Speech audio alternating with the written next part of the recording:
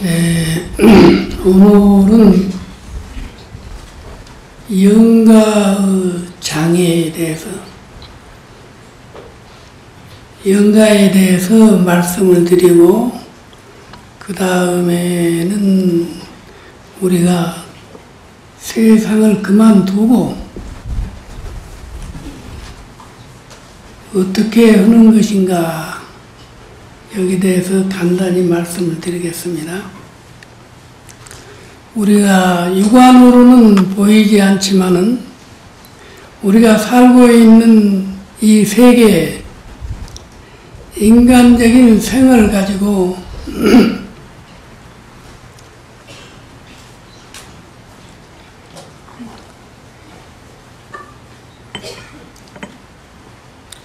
인간적인 생을 가지고 살면서 활동하고 또 우리들과 교류하고 있는 떠도는 영혼이 허다하게 많습니다.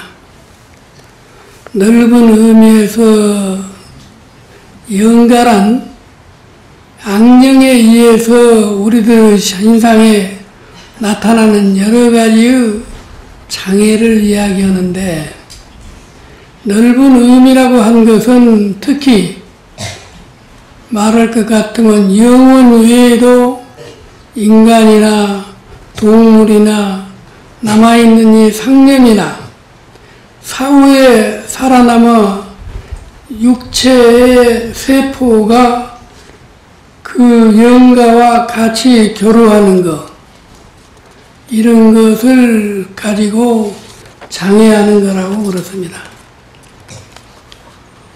단지 영혼이 하나의 독립체로서 가지고 있는 것에 대해서 상념이나 육체의 세포 또는 친화의 법칙 이래서 결합을 반복하면서 점차로 우리 인간과 같이 유화해 간다고 하는 점이 닿습니다.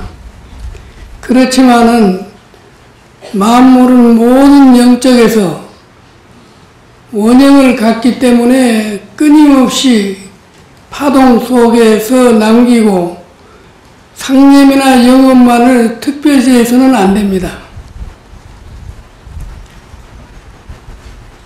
먼저 영가의 장애를 분리하려고 하는 것은 우리가 영가의 장애는 스스로 나쁜 짓을 하지 않습니다. 영가는 원인이 있고 기회가 있고 이런 것이 있음으로써 우리에게 뭘 부탁하는 것이지 스스로 와서 살아있는 사람은 괴롭히진 않습니다. 그러므로 유사한 파장을 하지 못하면 가능하고 교류가 할 수 없기 때문에 그런 일이 생기는 것입니다.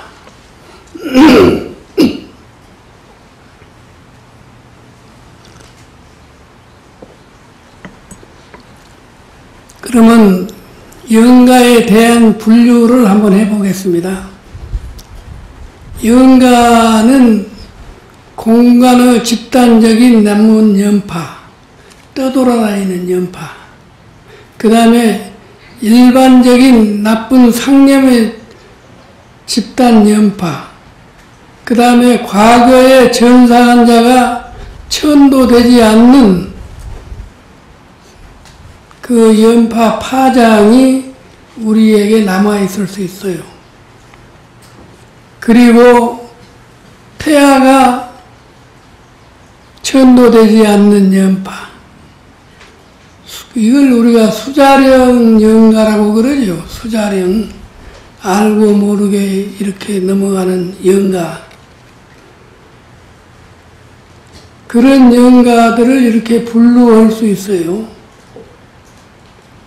그리고 그 사람들이, 그 영가들이 결국에 보면은 악신이니 귀신이니 사신이니 야차 등이 이런 것도 분류가 됩니다. 사람은 그렇고 그 다음에 동물의 그 영가는 이 여우 모든 동물을 우리는 이 동물의 악사령이라고 그러는데 그것은 크게 걱정 안 해도 되는 거예요. 우리가 반야신경만 간절히 한번 해주고 스님 모시다가 그게 도량성만 한번 해줘도 그냥 천도가 됩니다. 인간의 나쁜 영가는 퇴진, 천도되지 않는 이 영가를 이야기하는 거예요. 그러니까 수자령 영가 같은 거, 자살한 영가, 큰 병으로 일어나지 못하고 원한으로 죽은 영가, 또 무연의 영가, 또 행방불명으로 떠돌다가 돌아가신 영가, 이렇게 구분될 수 있습니다. 이런 영가는 우리가 천도할 수 있고 또 왕생 극락을 해줄 수 있습니다. 그리고 지마, 토지의 나쁜 연파, 묘지, 사당, 애터, 그 다음에 전쟁터, 예전에 우물, 하천 이런 곳, 이런 것도 영가가 떠돌자면 그 파장이 상념이 남아있는 거예요. 그것은 아주 쉽습니다. 천도기가 여러분들이 경전을 놓고 간절한 마음으로 어, 독경을 해드리면 됩니다. 우리가 공부를 하거나 기도를 할 때 흔히 마장이 끼었다고 그러지요. 마장이 끼었다고 그랬는데 마장이라는 것은 여러 방면에서 찾아오는 것입니다. 마장 중에 제일 먼저 천마. 천마는 그 우리가 구름이 가득 끼는 그 상태, 자기 여러분들 마음에 조금 박지 못하는데 천마가 생기는 거예요. 어두움을 결합해서 결과로서 커다란 힘을 가진 것으로 하늘을 덮고 검은 구름과 같은 것을 이야기합니다. 그러나 그 천마는 퇴진시킬 수는 있습니다. 그러나 정화시킬 수는 없어요. 그 정화를 시키려면은 그 스님들이 한 5, 60명 모여 앉아가지고 거기서 그 하는 애식이 있어요. 스님들이 우리가 여기서 백중날 하지요. 그건 그때는 이제 이 천마를 정화시킬 수 있는 겁니다. 왜냐하면은 인간의 나쁜 상념과 독립화하면서 좋은 기견을 전혀 갖지 않는 나쁜 일이 일색이기 때문에 그렇습니다. 그리고 살아있는 자에게서 시시각각으로 방대한 나쁜 연파가 생산되어 이것이 공간에 살고 있는 영가에게 에너지를 보급하기 때문에 그렇습니다. 그러니까 우리가 세상을 살면서 독한 마음을 먹거나 어리석은 마음을 먹거나 그러면은 좋은 영가한테 오염된다는 이야기예요. 항상 착하게 살아야 돼요. 이 우주 공간에 살고 있는 나쁜 연파에 에너지를 보호하기 때문이며 세 번째는 거대하게 결집한 나쁜 영가 덩어리 에너지의 위력이 매우 셉니다. 이런 것은 우리가 아, 기도하고 정진하고 큰 스님들만이 해결할 수 있는 거예요. 그러나 만물의 주인인 우리가 우주의 대생명, 대광명, 제평화를 정할 수는 없는 거예요. 그러기 때문에 천마를 퇴진시킬 수 있는데 이 천마는 스님들이 하는 것이 좋다 이게요. 아까 지마나 유마계나 이런 것은 보살님들 도 할 수 있어요. 그리고 유마계 금방 있던 이야기 우마계는 동으로 개성적인 나쁜 영혼을 이야기합니다. 지상을 부유하면서 떠돌면서 자기의 집착과 미래를 채우려고 합니다. 유마계는 천도제를 지내주고 불보살의 지혜의 강명으로 원한을 달래주면은 그것으로서도 될 수 있어요. 그 여러분들이 금강경이나 미타경이나 모든 경전을 지금 독경하지 않아요. 유마경한테는 바로 효력이 있는 이야기예요. 천도제를 지내고 구제한다고 그런 것은 절대적으로 선한 광명 에너지를 주입시켜 주는 거예요. 착한 마음, 착한 성의를 우리가 주게요. 우리가 죄를 지낼 때 그렇잖아요. 모셔다 놓고 영가이십시오. 이리 앉으십시오. 스님들의 법문을 들으십시오. 고향을 잡수십시오. 이렇게 이야기를 하나하나 한 것이 스님들의 연불 아니에요. 그 연불은 어, 팔만 대장경에서 나오는 골수 아주 유명한 그 말씀만 만들어서 해놓은 것이 영가법문입니다. 영가법문은 아무나 하는 거 아니에요. 진화라는 것은 토지나 건물이나 부착한 나쁜 상념이나 홀령을 이야기해요. 치마는 영혼을 풀어주고 달래주고 구제할 수가 있지만은 정화하면 이 영혼은 풀 수가 있다는 거예요. 옛 성터, 옛 전쟁터, 옛 우물터, 또 그 다음에 100년이나 200년 그 집안 있잖아요. 그 집안을 깨끗이 정화해가지고 들어가는 것이 좋다. 경전을 읽고 독경을 하고 정말로 간절한 마음으로 해야 된다는 거. 그 스님들을 불러서 하면 좋지만은 보살님들이 직접 해도 된다는 이야기예요. 영가의 장애에 대해서 간단히 예를 들어서 한 말씀을 하겠습니다. 이 내가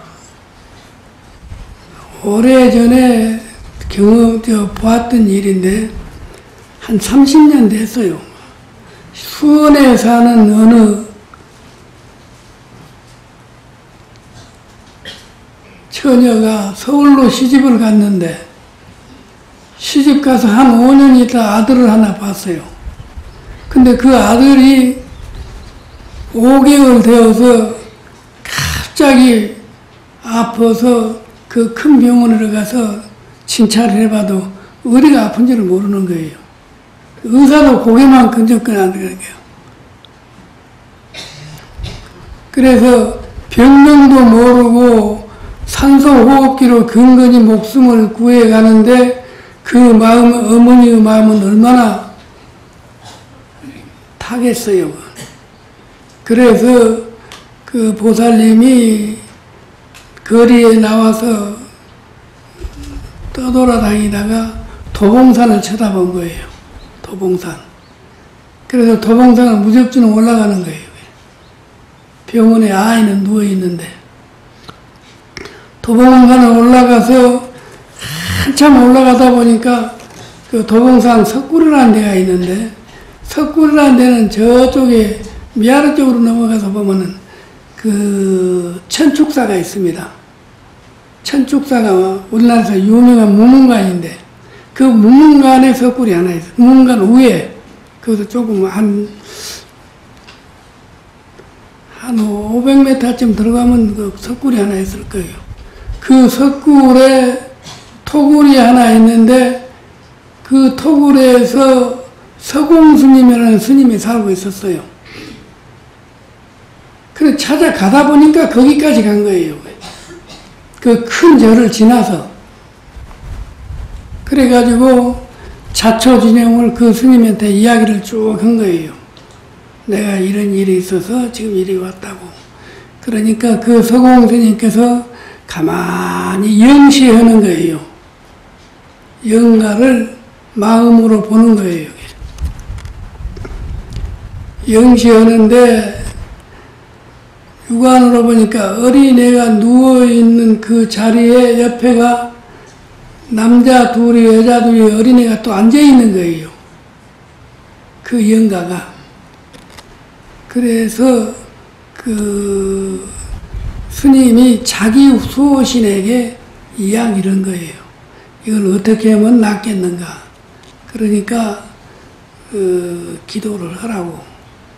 그래서 이제 3일 기도를 하고 났는데 호흡기를 띄고 한 달 만에 퇴원을 했어요.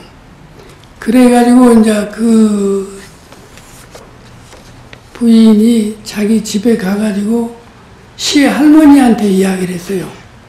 이리 이리 해서 이렇게 해서 그 우리 집에 그 영가가 붙어 있어서 이, 이런 일이 있었다고 그러니까 그 시 할머니가 이야기가 한 60년 전에 우리 집에 아들을 두 번 낳는데 두 번 다 죽었다. 아마 그거인 것 같다. 그렇게 하나는 그 다음 해 때. 그, 그 이제 하나는 둘은 남자고 하나는 여자인데 그런 이야기를 쭉 해줬어요.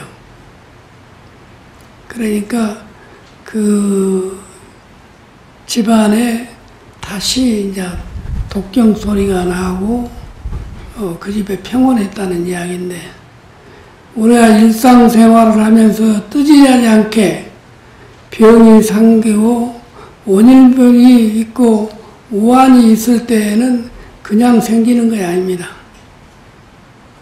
조상과 나와 같이 살기, 살기 때문에 우리는 파장,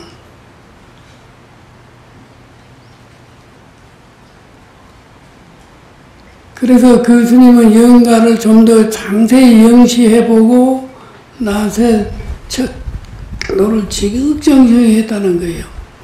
그 서공 스님이란 분 나는 봤어요 그때. 내가 아주 어, 30 몇 년 전이니까 그때 그때 나이가 그 양반이 80, 70 됐었어요. 근데 그 어른이 법무사 출신이에요. 그 천축사에서 10년 동안 무문관에 계시면서 하다가 그 위에 톡을 올라가시고 지금 여기 돌아가시고 안 계시는데 지호 스님이라고 우리 노장님 계셨어요. 우리 사장님. 그 큰 스님이 거기서 12년 동안을 방 한 8평 되는 거 구멍만 뚫어놓고 아침에 식사만 아침 저녁으로 드리는 거예요. 그 안에서 이제 정진하신 문관이었는데 그 어른을 만나서 그 다음에 나는 묻질 않았어요. 그런데 부산에서 그 이야기를 들었기 때문에 그리고 우리가 육체를 버리고 금방 다른 생명을 받아가지고 강의도 가는 경우도 있겠지만은 그러지 못하고 몇십 년 동안 방황하는 영가도 많습니다. 방황하는 영가는 백중날 여러분들이 가정에서 보이지 않는 영가가 있을 거예요. 우때 누가 죽었다더니 또 형제간에 우때 할아버지 형제가 있더니 아버지 형제가 있더니 나가가지고 들어오지 못했다는 것은 제사를 안 지내잖아요. 이런 것은 우리가 이 백중날 천도를 해줘야 됩니다. 지방과 직접적인 인연이 없는 영가를 모시고 공양을 하는 것 이런 것도 좋은 일이다. 자비한 마음으로 조상들이 돌아가신 지 오래되었는데 지금 지내도 고향을 받으시고 축원을 해더라도 영혼이 있습니까 하고 나한테 묻는 이가 있었는데 저그 오래됐어요. 그 있다고 그랬어요. 또 있는 거니까. 그런 파장들이 있는 겁니다. 내가 여기서 나가고 10년 후에 어느 절에 있는데 어느 보살님이 와서 그래요. 서면 대한극장 건너편에 가게를 하는데 우리 집 옆에는 1년 12달 그 팔이 날리고 있다고 손님이 안 온다고 그런데 그 사람이 기독교를 다니는데 이거 집안에 뭐 경을 읽어줘도 되느냐고 해서 본인한테 물어봐라 그랬어요. 본인한테 물어봐라. 그 본인이 왔어요. 와서 이야기를 하더만요. 그래서 내가 그러냐고. 그러면서 이제 그 본인한테 내가 이야기를 했죠. 그리고 독경을 하고 이제 시식을 한번 해드렸지. 조상들 쫙 놓고. 그런데 한 두 달 됐으니까 그 아주머니가 뭐를 잔뜩 사가지고 와서 장사가 잘 된다는 게요. 그래, 아, 조상, 조상들이 잘 해준가 보다 그랬는데, 그래도 절에는 안 나오는 게 교회 가는 거예요. 이 사람이. 그 1년에 한 번이가 그 절에 한 3년 있었는데, 1년에 한 번 오더라고. 초파에 나가서 등반 끼고 가. 그래서 그런 일이 있다는 것을 전, 저 경험으로는 그렇습니다. 그러니까 오래된 영가도 그래 하면 좋다. 그러면은 우리가 목숨이 다하고 남은 끝나는 것이냐? 그렇지 않습니다. 우리 마음은 영원 불멸한 것입니다. 모르는 사람들이 살아생전에 근본 도리를 깨닫고 우주 아들로 영원히 승화된다면 얼마나 좋겠습니까? 그런데 그러지 못한 사람도 있다는 거예요. 바로 죽어가지고 바로 본만 못 받아서 가면 얼마나 좋아요. 그러지 못한 사람은 방황하는 거예요. 왜 그러느냐? 대부분의 인간들은 끊임없이 원망과 시기, 질투, 분노, 탐욕, 성내는 것, 복수심, 슬픔, 사탄, 요망 이런 것들이 꽉 차 있잖아요. 세상 살다 보면은.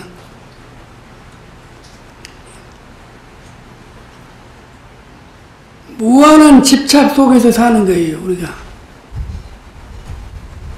무한히 어지러운 세상을 살고 있는 거예요.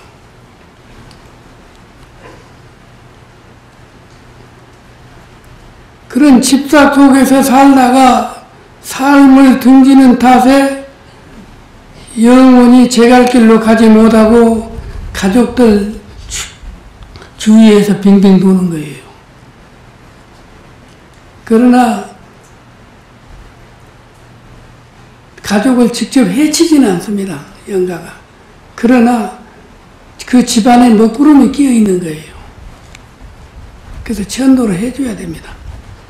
만일 사람이 선업을 수행하고 바른 선행을 닦아서 선업을 갖춘다면은 그 사람에게는 백천의 신의 수호가 돌봐주는 것입니다.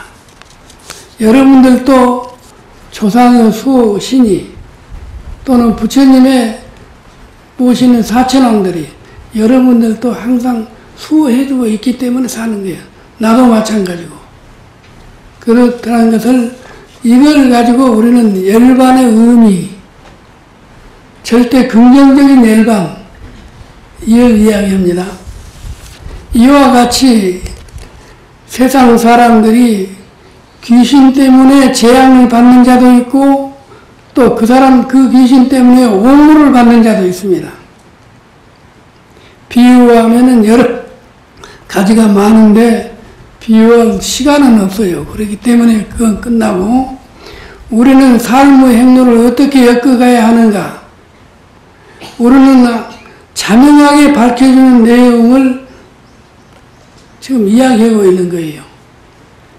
그러니까 귀신으로 받는 이 재앙을 받는다, 귀신으로부터 옹호를 받고 복을 받는다 두 가지로 갈려져 있어요. 우리는 죽음을 죽음으로 받아들이는 것이 아니라 열반으로 받아들여야 합니다. 죽음으로 받아들이면 문제가 많이 생겨요. 그러나 열반으로 받아들이면 그렇지 않거든요. 열반으로 받아들이면. 그래서 열반으로 받아들이면은 열 그러니까 우리 종교를 불교를 열반을 지향하는 종교다 그렇잖아요. 열반이라는 무엇이냐? 모든 번뇌 그리고 모든 욕심 모든 걸 이런 걸 다 열반으로 하면은 그 자리에서 바로 사라지는 거예요. 그러면 부처님 나라로 바로 가는 거예요. 그리고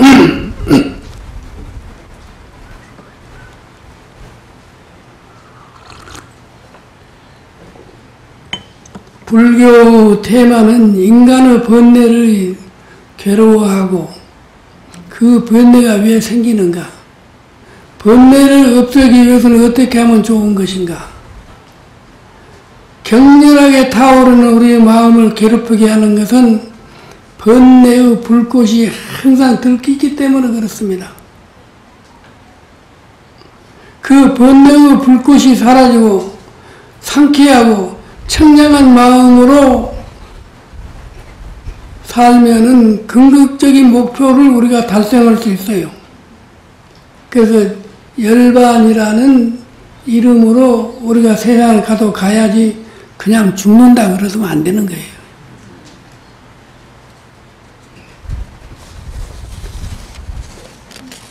살아있는 한 번뇌는 없어지지 않습니다. 우리가 숨 쉬고 있는 한 번뇌가 없어지지 않아요. 그래서 유여의 열반, 무여의 열반 이런 이야기를 하지 않아요. 인간이 신체를 가지고 사는 한 어떻게 해도 번뇌가 없어지지 않는다고 하는 이 생각,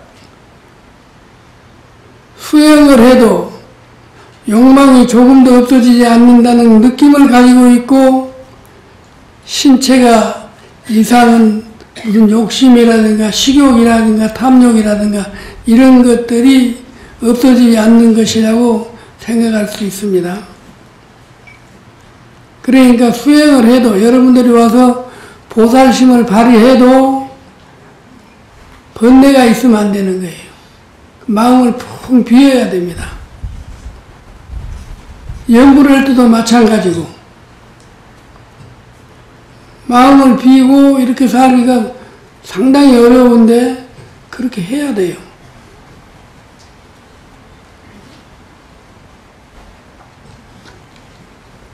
우리가 신체가 있는 한 번뇌는 적어지는 경우 완전히 없어지는 것은 조금 어렵다. 그러나 열반으로 가는 길은 열린다. 이런 이야기입니다.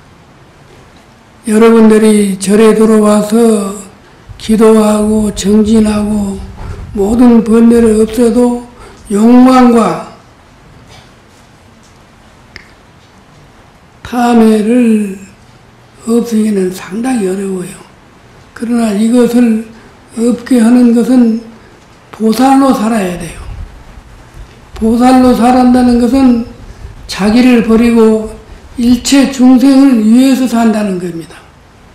그럼 여러분들은 나를 얼마만큼 버리고 내 가정을 위해서, 내 이웃을 위해서, 또 내 형제를 위해서 사는가 한번 뒤돌아볼 필요가 있어요.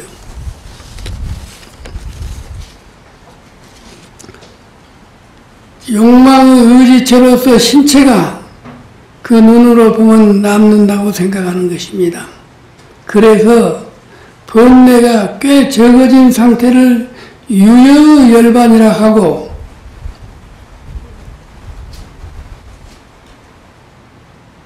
그러나 역시 광명과 생명과 신체가 궁극적인 안락에 도달하지 못하고 죽으면은 처음으로 진정한 열반이 될 수가 없다는 거예요. 무형의 열반이 되는 거예요. 궁극적으로 열반이라고 하는 것은 한 사람들이 다 똑같이 무형의 열반이 되니 유형의 열반이 되니 하게 되는 것입니다. 그러기 위해서 물속에 들어간다더니 목숨을 빨리 바꾼다더니 이런 행위를 해서는 안 되는 거예요. 수행자들이 나와서 그것에 대해서 대승불교에는 이런 열반의 근본적인 것이 이상하다고 합니다. 자살한 사람을 이야기한 거예요.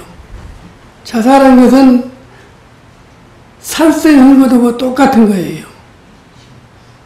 자기 목숨 자기가 마음대로 한다고 그러지만은 천만의 말씀이에요. 그 명심해야 됩니다. 특히 유식의 수행자들은 번뇌의 신체가 완전히 아니고 아레아식 속에서 저장된 미흙으로 나온 것으로 왔나. 그런 것을 없애기 위해서 어렵지만 신체가 없어지게 된다는 것은 아니라고 생각해야 돼요. 신체가 있기 때문에 번뇌가 있는 거예요. 신체가 없어지면 번뇌가 전부 없어진다는 거예요. 그것이 열반의 골수입니다. 그것을 참고로 하고 거기에 너무나 많은 그 마음의 창고 안에 불량구가 있는가 저장되어 있지만 자기에 따라서 좋고 나쁜 것을 구분할 줄 알아야 된다는 것입니다. 우주에서는 있는 그대로를 좋게 생각합니다. 본래 청정하기 때문에 우리가 어머니 뱃속에서 나오기 전에는 우리가 얼마나 청정하고 깨끗했습니까? 아름답고. 근데 세상에 나오다 보니까 탐진치, 또 팔정도, 이런 것을 지킬 수가 없어. 휩쓸려서.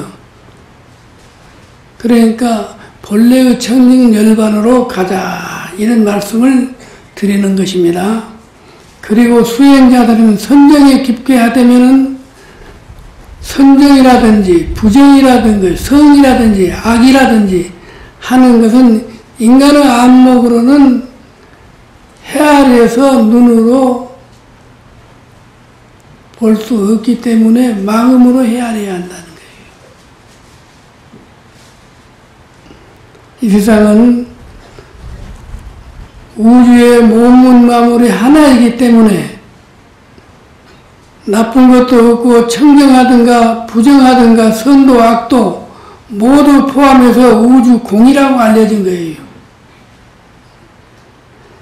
인간의 사정을 가로 안에 두고 있는 그대로의 우주인 것입니다. 그런 점에서 보면 번뇌도 오염이 없다고 하는 것을 붙잡아두고 이것을 대승불교에서는 수승하다고 그렇습니다. 그래서 세계는 본래 청정하다.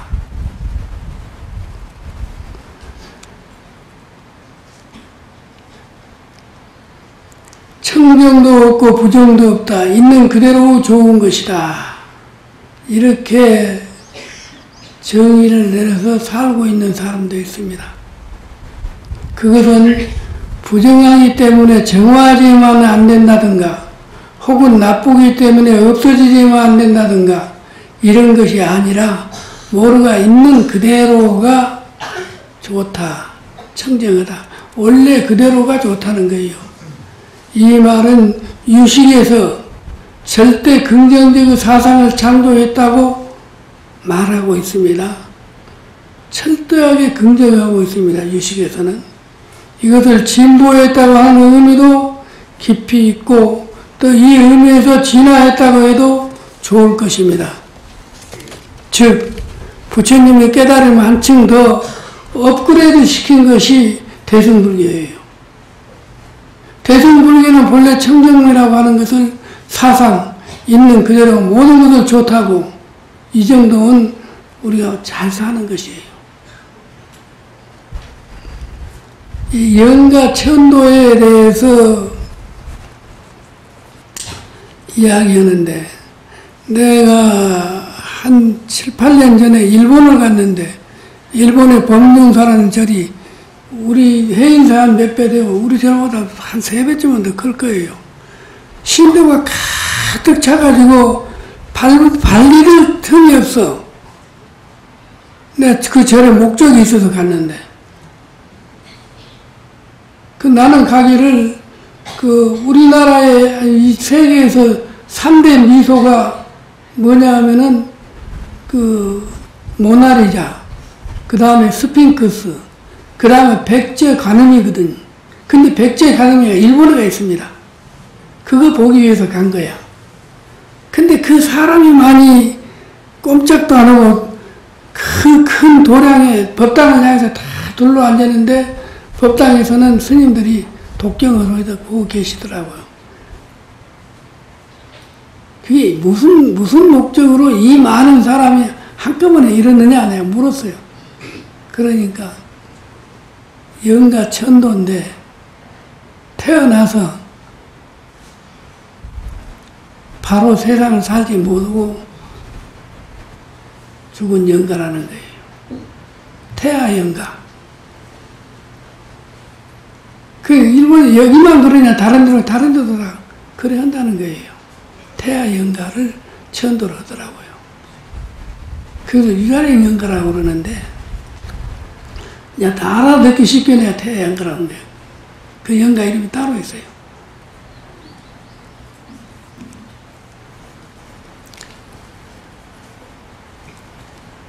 대승불교에서 청명열반이라고 하는 사상, 모든 있는 그대로 좋다는 거, 이것도 있는 그대로 좋은 것이냐?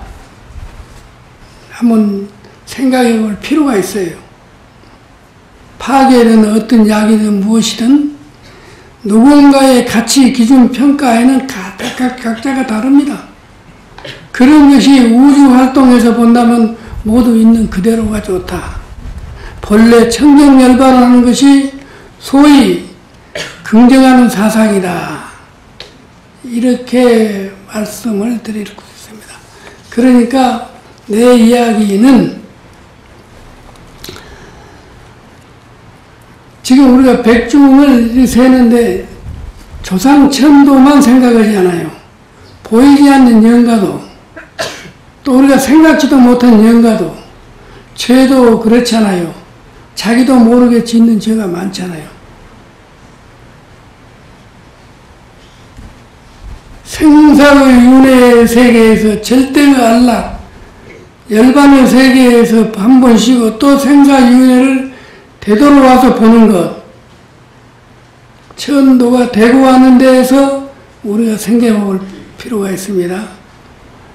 그런 주처 부정 열반의 경계가 있다는 것이 무주처 열반이라고 생각하면 돼요.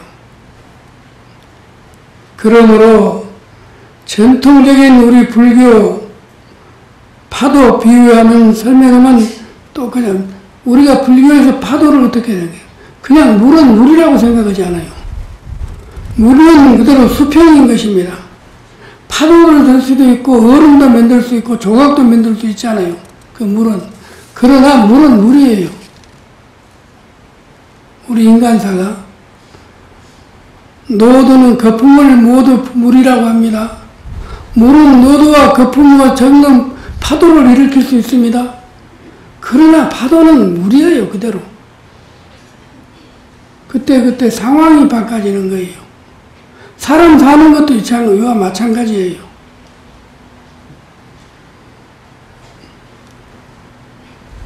이 나타나서 사라진다고 하는 것은 유여, 무여 열반이라고 하는 현상입니다. 그러나 파도라고 하는 단계에서 다양성이 있고 또 나타나서 사라진다고 하지만 그것은 역시 물은 물이다. 우리들은 마음은 마음인 거예요. 나쁜 마음이든 좋은 마음이든 고운 마음이든. 항상 물 자체로 가는 근본 진정한 것이라면은 활동하기도 하고 자기 힘에 변함이 없는 것을 자유자재한다는 것을 우리가 알아야 합니다. 우주 본래 나기 때문에 고요한 것이고 우주로 돌아오는 보살로서 한번 태어나서 활동하면서 그 자유자직의 세계에 열반이 있다고 생각합니다. 그러므로 여러분은 열반의 준비를 하지 죽음의 준비를 하지 마세요. 기체로 받아들이지 않고 전체 우주로 받아들이십시오. 가능하다는 것, 우주처, 무주처 열반이라고 개념을 가져야 합니다. 무주처 열반이 경지에 들면 행복이라든가 불어댕이라든가 손해라든가 악이라든가 이런 것들은 전부 물로 돌아가는 겁니다. 이것을 경지로 가능하다는 것이에요. 이것을 알아야 하시기 이겁니다. 걸리지 않는 것, 철저하게 정화하는 것, 반드시 모든 것을 절대적으로 긍정하는 것, 그대로 세계를 남아있는 안목을 위해서 절대 긍정의 세계를 우리는 자유 세계를 노리면서 살아야 한다는 것. 그러기 위해서는 악도선도 다 잊어버려야 돼. 에, 시간이 한 10분 남았는데 5분만 더 하랍니다. 여러분들이 천도를 하기 위해서 와서 지금 천도 이야기, 또 영가 이야기, 또 돌아가실 때 어떤 마음으로 돌아가시는가를 대강 이야기를 해드렸어요. 천도 의식을 할 때 영가를 청하죠, 여러분들이. 영가를 청할 때, 영청을 할 때 법문이 있는데 지금 이런 것이에요. 법성이라고 하는 이 진리, 본체의 성은 부처님 성이나 우리의 성이나 근본은 같습니다. 부처님이나 여러분이나 본체는 같은 거예요. 근원의 진리는 진리체는 무명, 무상, 이름도 이룰 수 없고 형상도 이룰 수 없는 것입니다. 크게 고요하고 안정된 상태에서 본래 이루어지는 것을 말합니다. 누구든지 이렇게 대적산매가 다 이루어져 있습니다. 다만 그것을 깨닫지 못하고 자기 본래 생명이 부처님과 똑같이 안정된 삼매 믿지 못한 까닭에 우리 마음이 흔들리고 또 과보를 받고 윤회를 하게 되고 이렇게 한 해 더 살려주고 이렇게 된 것이니까 영가는 당신이 지금 와 앉으세요. 제상에 임하십시오. 제상에 앉으시라 이 말이에요. 그리고 법문을 들으십시오. 그 다음에 뭐야? 고향을 받으십시오. 그리고 이 자리에서 기쁨을 얻어서 왕생 극락하십시오. 이게 천도예요. 그런 법문의 요식이 시인 것도 천도 의식입니다. 육체에 살고 있다는 것은 우리 인간이 살고 있다는 것과 쉽지만은 육체는 하나의 의상에 지나지 않는 거예요. 여러분들도 이상에 잠깐 왔다 가는 건 영혼의 옷 갈아입는 거예요. 그대로. 잠깐 왔다 가는 거예요. 어쩔 때 보면은 정말로 제 행이 무상해요. 내가 이 절에 들어올 때 18살에 들어왔어. 지금 80이 다 됐는데, 범어사에. 그런 걸 가만히 생각해 보면 정말로 나는 이 육체를 벗는구나. 이 옷을 벗고 가는구나. 인간의 세계에 태어나서 인간의 복을 입고 나오는 것, 육체의 복을 입고 나오는 것, 인간이라고 하는 것, 우리는 언젠가는 새 옷을 갈아입게 된단 말입니다. 어떤 옷을 입든지 간에 얼마만한 안정과 기회와 행복과 환희에 살고 있는가 생각해 봐야 돼요. 그런 것들을 그런 것은 않아도 이해가 될 것이에요. 이 몸을 버린 후에도 우리 몸뚱이는 여기에서 의심하지 않고 분명하게 부처님과 같이 함께 할 수 있는가. 이런 삶을 살아야 된다는 거예요. 오늘 어, 이 법회에 오면 어제 내가 생각을 했어요. 가서 무슨 말을 해야 돼야지. 저 영감이 지금 무슨 말을 하냐.